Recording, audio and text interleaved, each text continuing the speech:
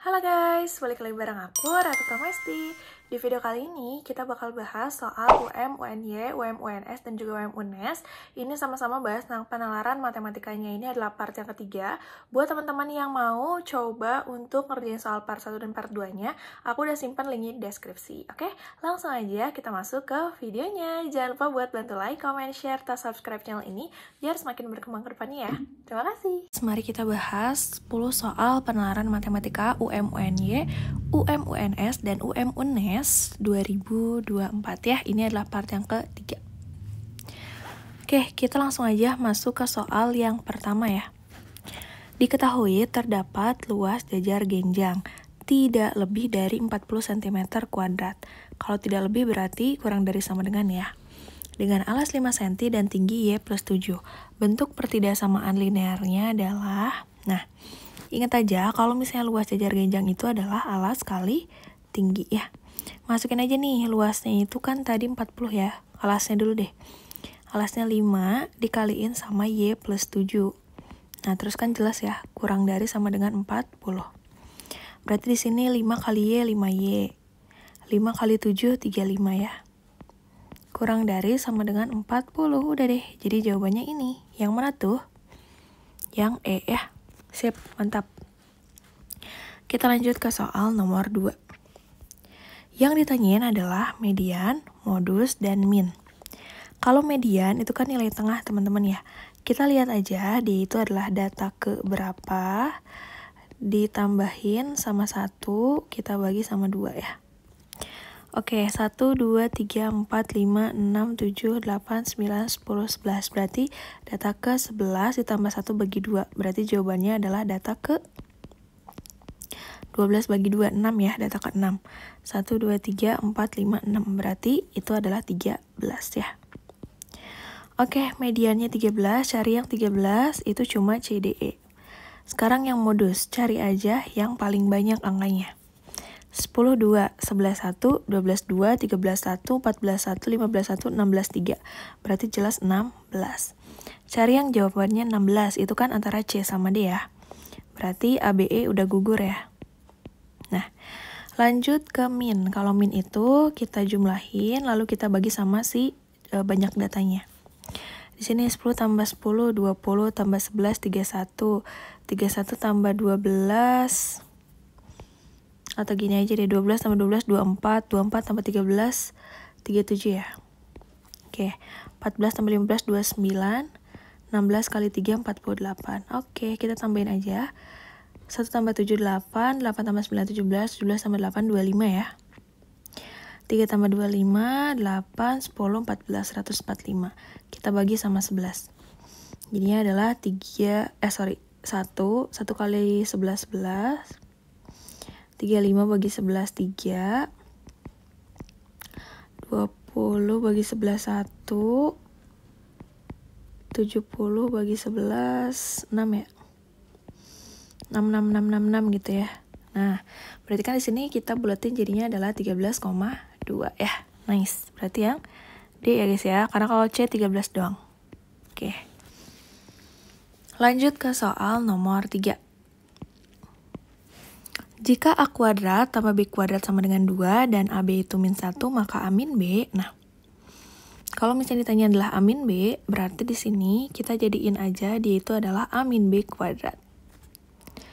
Di sini kalau misalnya kita uraikan, A min B kuadrat itu kan A kuadrat ditambah B kuadrat min 2AB ya. Nah, masukin aja nih. A kuadrat tambah B kuadratnya kan dapet tuh. Si 2 ini ya, 2. Terus min 2 dikali AB-nya adalah min 1. Yang ini. Nah, jadinya berapa tuh? 2 plus 2 ya, min kali min kan plus ya. Jadinya adalah 4. Nah, 4 itu kan A min B kuadrat, teman-teman. Kita tuh mau carinya A min B doang, berarti harus diapain? Hilangin kan si kuadratnya. Cara ngilangin kuadrat adalah kita akarin. Nah, akarin aja kedua ruas. Berarti kan akar pangkat 2 dari A min B kuadrat bisa kita cari nih, sisanya A min B. Lalu akar pangkat 4 dari akar akar dari 4 itu adalah plus minus 2. Jadi ya udah bisa plus 2, bisa min 2 ya. Berarti yang A. Oke. Okay. Nice. Oke, nah kita lanjut ke soal nomor 4. Di soal nomor 4 ini, jika varian rasa baru tercipta dengan mencampurkan tiga bahan rasa awal, yaitu nanas, mangga, coklat, vanila, dan jeruk, maka banyak variasi baru yang tercipta dari bahan-bahannya adalah Nah, ini tuh antara pakai permutasi atau kombinasi. Kalau misalnya e, contoh soalnya kayak gini doang gitu ya, nggak ada syarat-syaratnya gitu, berarti kita pakai kombinasi ya. Jadi kombinasi 5, 3 ya. Nah, gimana tuh kombinasi 5, 3? Berarti kan, ini kan e, N-nya ini R-nya ya. Berarti kan N sama dengan n faktorial per r faktorial dikariin sama n min r faktorial ya. Berarti sini n-nya adalah 5 faktorial per n min r-nya atau r uh, r-nya adalah 3 faktorial. Di sini n min r-nya 5 kurangi 3, 2 faktorial ya. Oke, jadinya berapa nih? 5 dikali 4 dikali 3 faktorial. Berhenti aja di sini ya. Biar kita bisa coret sama yang bawah. Seret-seret ya. Lalu 2 faktorial itu 2 kali 1 ya. Berarti kita bisa coret 4 bagi 2 gitu. Ini sisanya 2. Jadinya adalah sisanya 5 kali 2. 5 kali 2 adalah 10. Udah guys, jadi jawabannya yang cendol ya. Aman ya? Kita lanjut ke soal nomor 5. Dari angka 34629 disusun bilangan terdiri dari 6 digit, 6 digit. Dengan dua angka boleh muncul dua kali banyak bilangan angka yang akan terbentuk. Oke.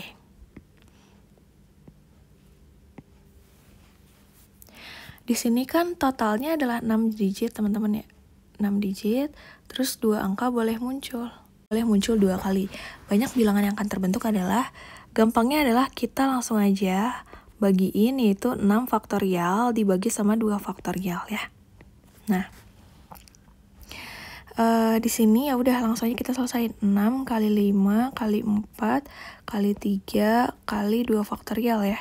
Biar kita bisa coret sama yang bawah. Serat-serat ya udah.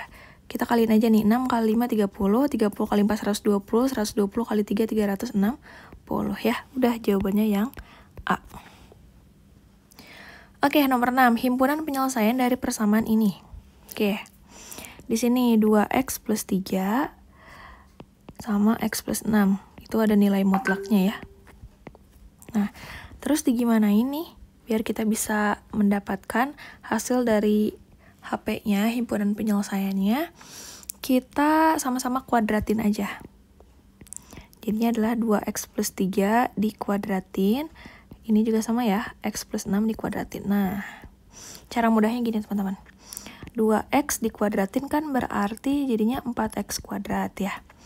Terus 3 dikuadratin 9 ya. Terus 2x dikali 3 dikali 2. 2x kali 3 kan 6x, 6x kali 2 12x gitu. Sama ini juga ya. x dikuadratin x kuadrat. 6 dikuadratin 36. X kali 6 kali 2 berarti 12x ya. Nah, selesaiin aja nih.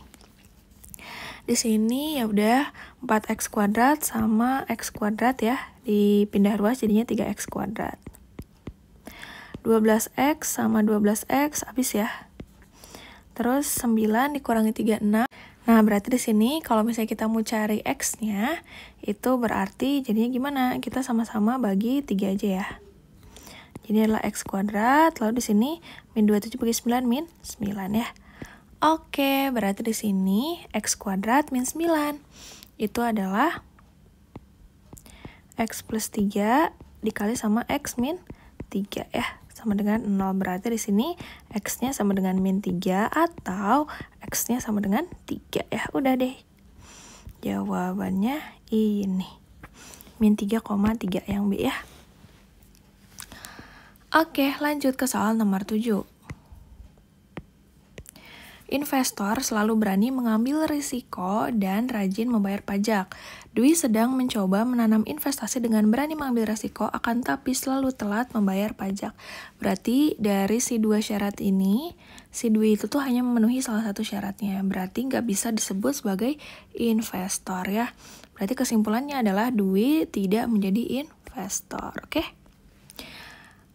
Nomor 8, jika Adele berangkat ke kantor, Adele berangkat kantor, maka saya akan bertemu Sinta dan Marni.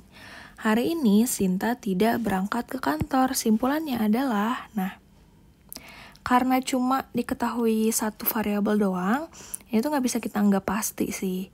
Jadi di sini yang nggak ada kepastian ya, apakah si Adel tidak jadi berangkat kantor, Sinta bertemu Adel, Madrid tunggu Adel, ini tuh nggak bisa kita validasi ya, berarti tidak ada kepastian, oke?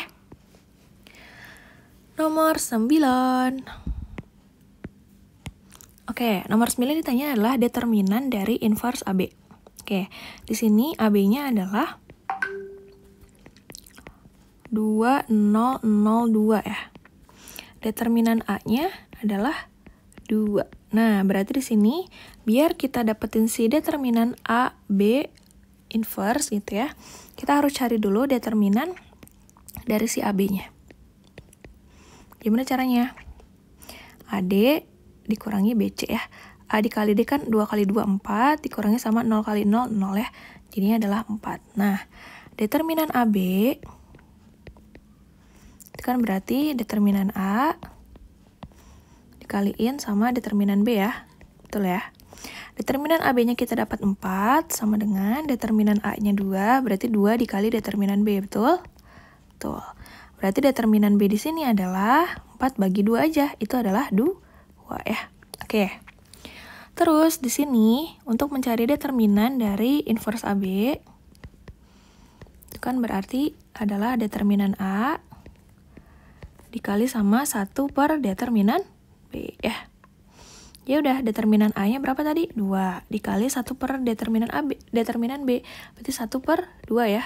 Berarti ya udah, 2 bagi 2 adalah 1. Udah. Jadi jawabannya 1. Oke. Okay?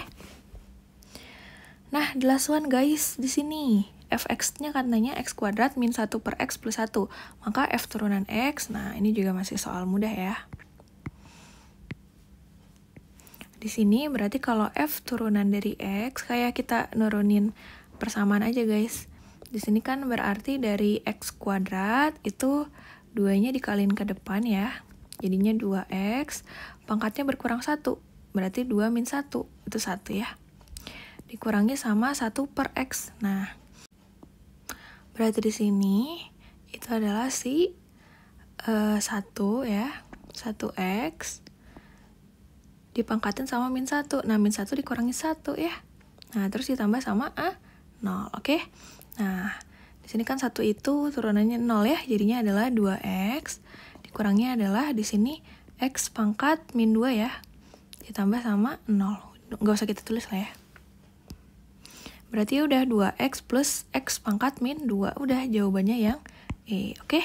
Sip, udah guys gitu aja untuk 10 soalnya. Nah, di sini aku ada PR, silakan untuk kerjakan soal nomor 1 sama soal nomor 2. Nah, buat teman-teman yang mau ujian, aku doakan semoga mendapatkan yang terbaik dan bisa lolos ya di UM UNY, UM UNS, dan juga UM UNES. Gitu aja dari aku. Kalau misalnya mau ada saran konten lain, boleh banget kirim di kolom komentar. Thank you for watching and bye!